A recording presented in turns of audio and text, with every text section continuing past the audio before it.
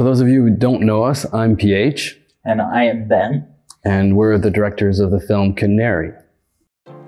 So the film Canary is about a boy and a canary who forge a friendship in a coal mine at the turn of the century. As directors, we'd been uh, working together for uh, quite a while, and our dream was always to tell our own original stories. And we'd been kicking around an idea about uh, something happening in a mine, you know, uh, with Coal Mine Canary. And I woke up uh, one night at 3 a.m. in the morning, and I had sort of this part, the structure of the story in my mind, and I just wrote it out as quickly as I could. And uh, I was quick to, to go, Ben, Ben, you got it. You know, what do you think about this?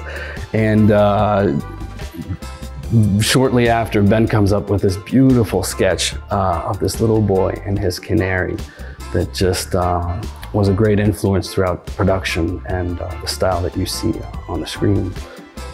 Houdini and Solaris were at the center of this project. Our team uh, has used the, uh, the softwares to um, do the feather, the grooming, the lighting, also some prototyping of rigging, and some really nice effect shots. So we had obviously uh, the feathers on the canary, the hair and grooming on all the other characters, including the young boy, which we uh, really love. As a result, very anime style. So Martine Chartrand, who was taking care of this, had all the flexibility in the world, and this is what she really appreciated, all the way to creating some tools that were not there, but because she was in Houdini, she was able to develop those tools herself. And she pretty much succeeded at uh, obtaining uh, higher level of quality and and, and fun shapes with uh, the canary character. Yeah, and a million and one feathers. so one of the things that was great uh, in terms of lighting, so we have this really talented lighting artist and he's working in Houdini. Uh, he, which first of all gives them a sequence-based workflow where he manages to visualize all his shots at the same time as uh, you know these key images, these key frames per sequence. And when he's tweaking one, he manages to apply those tweaks throughout, and it's really practical.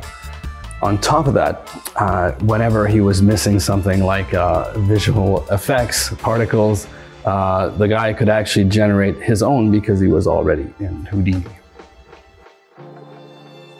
In our film, we knew that we wanted our character to cry, so we asked our rigger to create a tear rig that he was able to achieve using Houdini and uh, a procedural approach. It was a very powerful setup.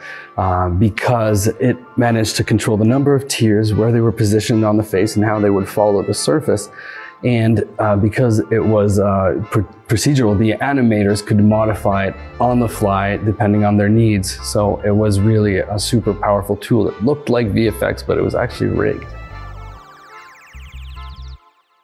What we're proudest about, you know, with um, Canary is that we managed to tell the story that we wanted to tell, uh, the way it was meant to be told. You know, in the end, I mean, there were obviously moments where it was in doubt that we that things would come together as we were hoping it would, but it did, it did.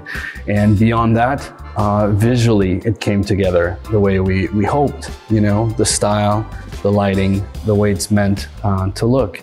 So we're so pleased, you know, with how it ended up. And obviously, as we mentioned, like Houdini was at the center of, of this and getting us to be able to art direct and iterate efficiently. And um, so we're just really, really happy with the result. So we've got a few other ideas.